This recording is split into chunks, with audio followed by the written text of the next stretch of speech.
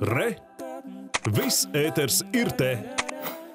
Pēc trīs gadu pārtraukuma Latvijā atkal notiek pasaules kausa posms suņu kamanu sportā ziemā, kas šoreiz vienlaikus bija arī Latvijas ziemas čempionāts. Kaut arī ierobežojumu dēļ dalībnieku skaits bija ievērojami mazāks nekā ierasts cīņa par vietu uz piedestāla spraiga. Divi, trīs, dva! Sīva konkurence un spraiga cīņa, taču pāri visam tomēr satikšanās, prieks un ziemas baudīšana. Tāds esot suņu kamanu sports, arī šoreiz Madonā, kopā pulcējot piecu dalību valstu līderus.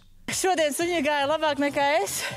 Šodien divi kritieni, vēl nekas. nekas. Es saprotu, kā slēpotājiem piecelties pēc kritiena, bet kā ar suņiem? Nu, kā, kā, Ai, nu, galvenais ir šo enkuru neielaist ciskā.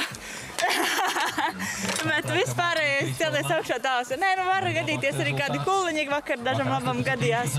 Bet uh, viss ir kārtībā. Galvenais ir ar prātu un ir super.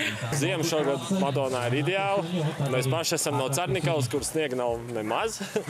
Braucam ar riteņiem un tad izvilkām slēpes un atbraucām pabaudīt. Suņi, prot, protams, ir priecīgi, jo savādāk nemaz viņus nedabūtu skriet. Viņiem tas darbs patīk.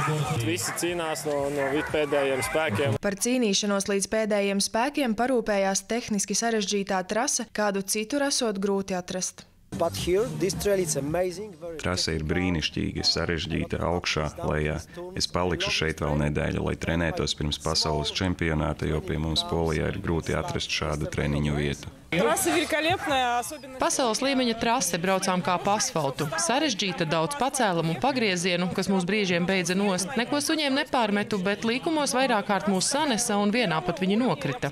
Forši gāja. Mēs jau braucām. Mūsu mērķis bija atbraukt papriecāties pa sniegu. Kalniņus mēs zinājām, kādi ir un ka tie ir briesmīgi, ka tie nav priekš manis. Es labprāt pa lauku slēpot. Tad es varētu ar kādu varbūt arī, nē, no šiem laikam nevarētu sacensties. Tad varbūt vien, viens, otrs vēl mana vecuma cilvēks uzkāpt uz slēpēm un braukt. Ņemot vērā, ka daudz dalībnieki mēro garu ceļu, nereti dzirdamas bažas, vai suņi šādos pārbraucienos nenogurst. Suņi ir pieraduši uz robežas, viņi guļ, pienāk robežsargs, paskatās, bet viņi guļ. Suņi nepiekūst no ceļa, viņi atpūšas.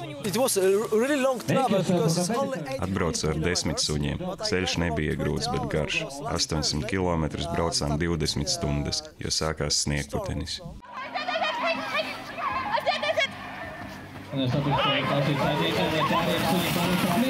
Kamanas un skijorings, taču sacensību noslēgumā minipūliņš. Disciplīna, kurās suns 100 metrus cenšas pieveikt maksimāli ātri, papildus velkot arī smagumu.